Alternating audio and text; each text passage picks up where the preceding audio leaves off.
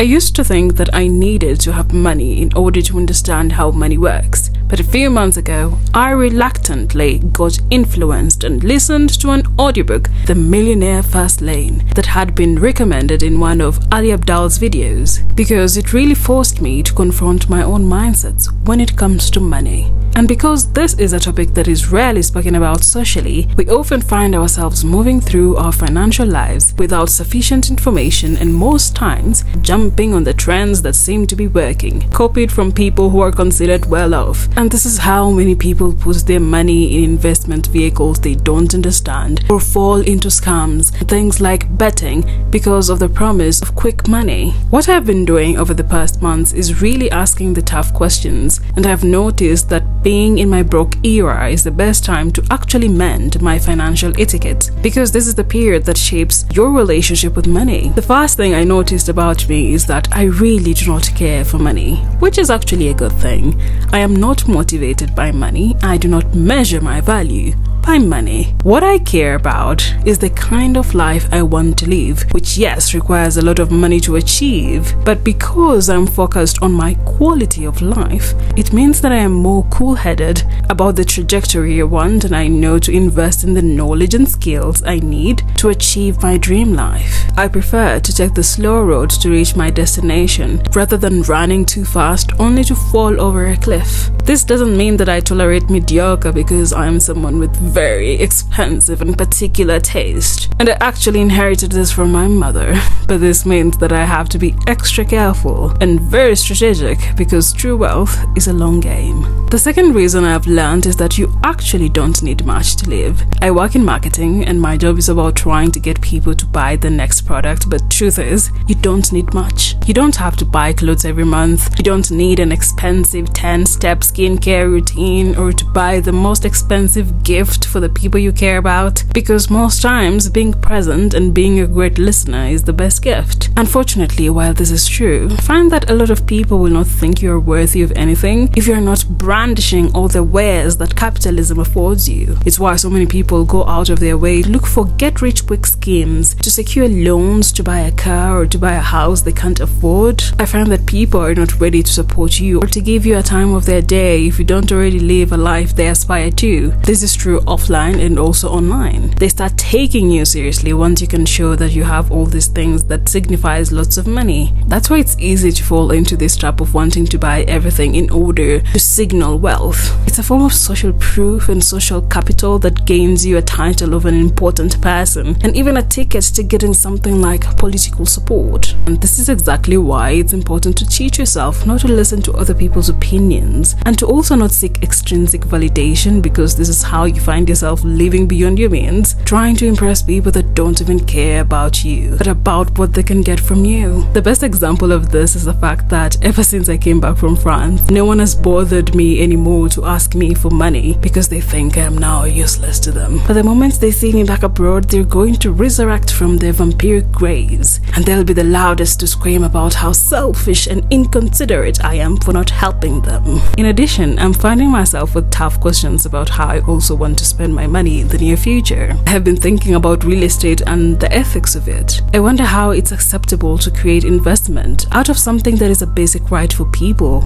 especially in a world where a lot of people are denied this basic right because of the greed that comes with making profits from this investment. How did this become acceptable and even normalized?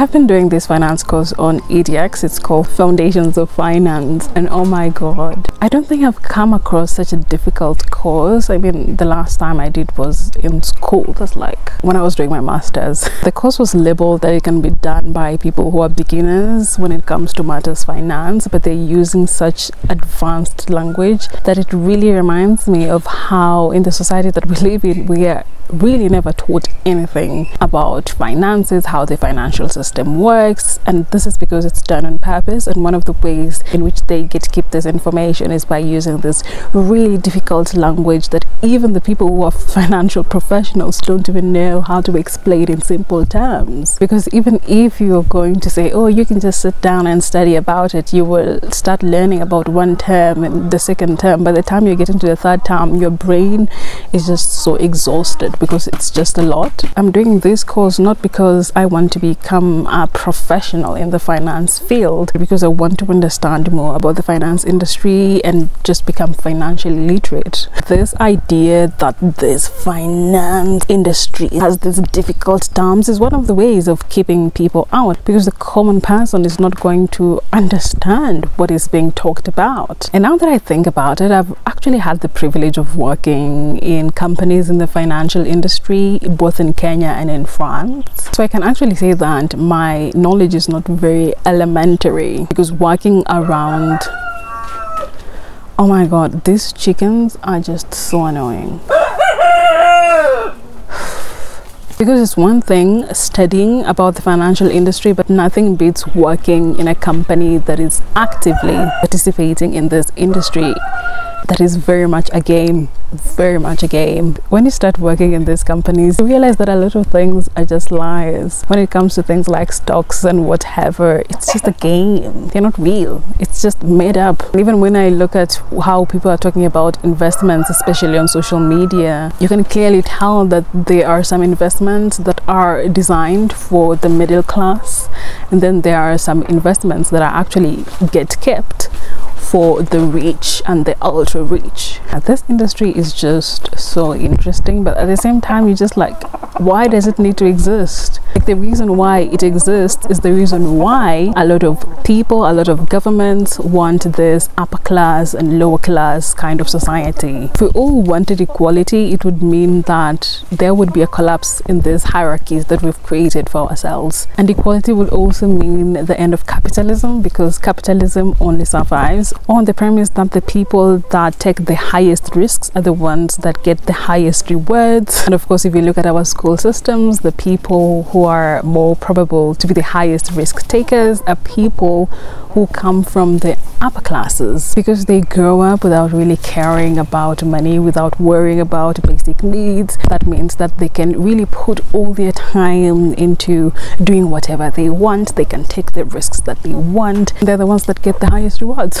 Something else that I've actually gathered from this course is the fact that the system is actually designed for the people who are already rich to win. A good example if you wanted to take a loan today and you do not have assets or things that already show how rich you are or something to show that you're good with money, you are either not going to get the loan or you're going to get the loan at very high interest rates. But that is the complete opposite for people who are rich because they not only easily get loans, but they also get loans with very low interest rates. And this is one of those things that really makes it harder for people who are in the lower social classes to sort of move to a different social class or even become rich or wealthy because the system is already rigged against you. The best example of this is that when you don't have money and you want to start a project or you want to start a business, most of the time you will think of you know, how am I going to raise money for this project on my own. You want to look at family members to give you money because most times the banks are not going to give you money because they consider you to be a high risk person.